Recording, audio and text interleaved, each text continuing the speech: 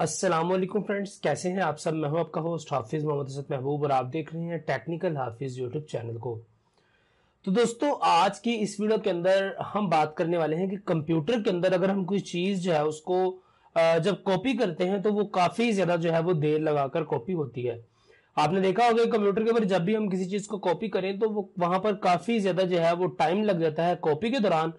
और अगर उसी चीज़ को हम कंप्यूटर के अंदर जो है वो डिलीट वाला बटन प्रेस कर देते हैं या उसको डिलीट करते हैं तो वो within a few second ही वो चीज़ जो है वो आपके पास से डिलीट हो जाती है।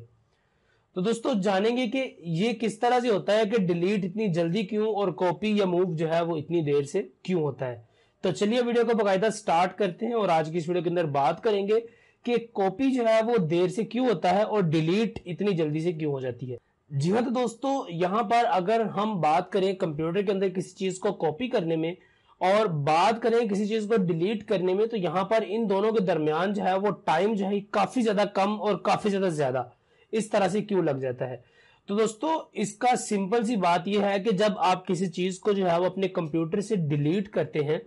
तो उस वक्त सिर्फ़ उस फ़ाइल के उस स्पेसिफिक नेम को जो है अपने आपके कंप्यूटर की मेमोरी से छुपा दिया जाता है, यानी कि हाइड कर लिया जाता है। वो फ़ाइल बेसिकली आपके कंप्यूटर के अंदर ही पड़ी रहती है, जब तक के कोई दूसरी फ़ाइल है, उस फ़ाइल को आकर रिप्लेस नहीं कर देती, तब तक के लिए वो फ़ाइल आपके कंप्यूटर के अंदर ही सेव रहती है। तो जब आप डिलीट वाला बटन सिर्फ़ प्रेस करते हैं तो उससे ये होता है कि आपकी वो वाली फ़ाइल वक्ती तौर पर उसके नाम को आपके कंप्यूटर के ऊपर से हटा दिया जाता है। दोस्तों, इसकी मिसाल आपको सिंपल से किसी भी कागज़ के ऊपर या किसी भी रजिस्टर्ड के ऊपर आप कुछ भी अगर लिखते हैं कोई चीज़ और लिखने के बाद अगर आप उसके नाम को इस तरह से क्रॉस कर दें तो यही काम जो है वो कंप्यूटर आप अपने अंदर एक परफॉर्म करता है। दोस्तों, यहाँ पर होता यह है कि उस फ़ाइल को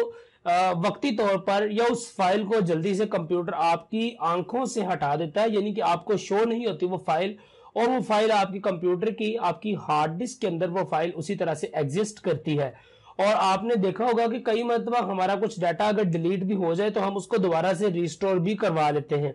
तो दोस्तों, वो जो डाटा आपका रिस्टोर होता है, वो इसी तरह से होता है कि वो फ़ाइल जिसको हमें लगता है कि हमने डिलीट कर दिया है, वो फ़ाइल डिलीट नहीं होती, बल्कि उसके नाम को जस्ट आपका जो कंप्यूटर है, वो अपनी मेमोरी से हटा देता है। और जब दोबारा कोई दूसरी फ़ाइल जब तक उस फ़ाइल की जगह नहीं ले लेती, तब तक के लिए वो फ़ाइल उसी जगह पर स्टोर रहती है। और इसके बरअक्स अगर हम किसी चीज़ को कॉपी करते हैं तो वहाँ पर देर इसलिए लगती है क्योंकि वहाँ पर आपका कंप्यूटर जो है, वो एक जगह से डाटा को उठाकर अपनी किसी हार्ड डिस्क की किसी स्पेशल पार्टीशन के अंदर उस डाटा को नए तरीके से स्टोर जो है, वो करता है।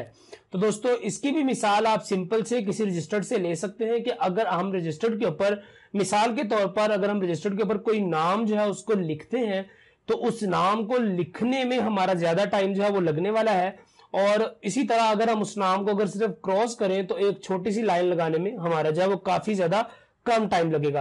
तो दोस्तों, यही काम होता है कंप्यूटर के ऊपर कि जब आप किसी चीज़ को कॉपी करते हैं तो आपका कंप्यूटर जो है वो पूरा डाटा नए सिरे से राइड करता है अपनी मेमोरी के ऊपर। और अगर हम किसी चीज़ को डिलीट करते हैं तो वो पूरी चीज़ डिलीट नहीं होती, जस्ट उसके नाम को या उस फ़ाइल के जो ऊपर उसका नेम शो रहता है, उसके नेम को वो वक्ती तौर पर अपनी अपनी मेमोरी से हटा देता है, और जब तक दूसरी फ़ाइल उसको रिप्लेस नहीं करती, वो फ़ाइल आपके कंप्यूटर की हार्ड डिस्क के अंदर ही सेव रहती है। तो दोस्तों, ये था काम कि अगर हम डिलीट करें तो जल्दी क्यों, और कॉपी करें तो देर से क्यों? तो दोस्तों, उम्मीद करता हूँ कि काफ़ी ज़्यादा वीडियो आप लोगों को पसंद आई होगी, और आप लोगों के लिए काफ़ी ज़्यादा हेल्पफुल रही होगी और आपको काफ़ी जो है सीखने को मिला होगा इस वीडियो के थ्रू तो दोस्तों, अगर आपको वीडियो अच्छी लगी है तो चैनल को लाइक सब्सक्राइब और शेयर ज़रूर कीजिएगा और अपने दूसरे दोस्तों को भी रेकमेंड करें इस चैनल के ऊपर आने के लिए। तो दोस्तों, मिलता हूँ आपसे किसी अगली वीडियो के अंदर। तब तक दीजिए इजाज़त दो में याद रखिएगा। असलम